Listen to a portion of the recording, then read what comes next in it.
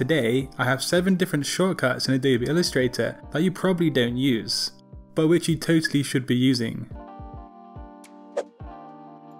Also making today's video possible is Uptocareer, which offers super useful and super neat templates for your projects. You can download resumes, cover letters, gift cards, and many other different templates too. It's easy to sign up, and when you do, you have access to some of the free templates. But there are also many templates only available for subscribers. The normal price is $14.99 a month, but now $14.99 can get you 2 months membership. So check out Uptocareer down in the description box below. So today I have 7 different keyboard shortcuts, and the last one in today's list is sort of a special exception. But firstly, here's a shortcut for applying different effects. To demonstrate, let's quickly apply a Gaussian blur to this square. I'm actually working in CMYK, so my blur is pretty bad. So just to quickly tidy that up, I'm going to increase the values of the raster effects right here in this menu. To apply the same effect to the next square, you can press Shift Command E on a Mac or Shift Control E on a PC. You can of course apply this to multiple different objects at one time.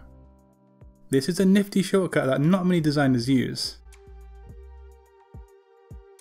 Another neat shortcut is to press Shift and Command or Control open square bracket, which will send an object to the very back of all layers.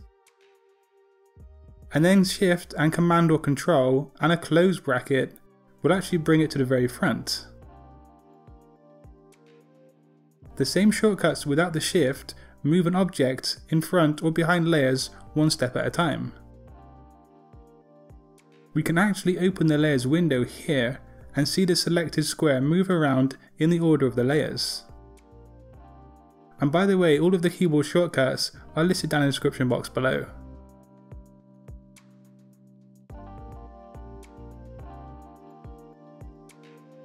The third set of shortcuts that I like to use from time to time is to press Command or Control 2 to lock an object down in place.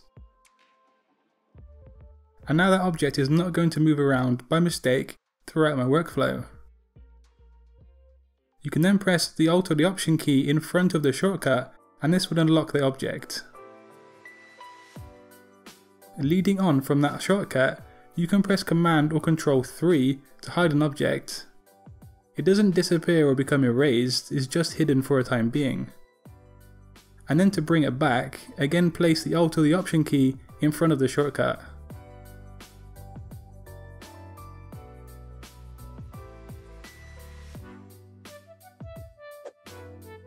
So here you can see that I've got a pink dinosaur.